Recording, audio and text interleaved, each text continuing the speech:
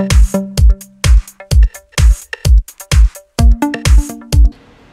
gonna show you how to active developer options on Honor 7 smartphone. At the very beginning, switch on your device by holding the power key. Then unlock the screen, find and select settings, scroll down to the bottom of the list and choose about phone.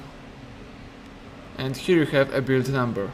Let's tap a couple of times in this number and you are now a developer. You can go back to previous list and under printing you've got developer options. Let's open it. Now you can use whatever features you need. For example, you can enable USB debugging by using this switcher and by confirming the operation by choosing OK. Excellent. Please subscribe our channel and leave finger up under this video.